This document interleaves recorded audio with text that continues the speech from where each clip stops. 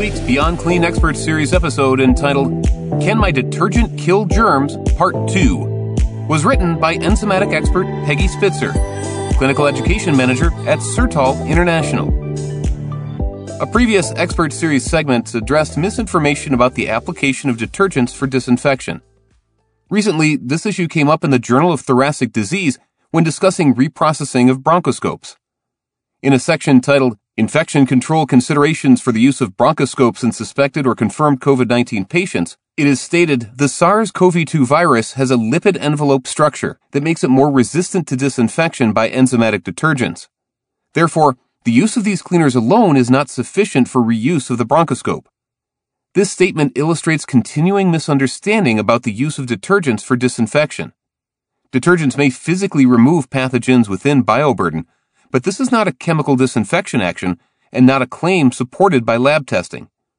Products making claims to inactivate SARS-CoV-2 or other pathogens must have EPA registration on the label and may be identified as germicidal detergents or disinfectants with cleaning properties. If the product is a high-level chemical disinfectant, it is FDA reviewed and cleared and is not indicated for soil removal. SARS-CoV-2 virus is a lipid enveloped virus enveloped virus types are more easily inactivated by disinfectants.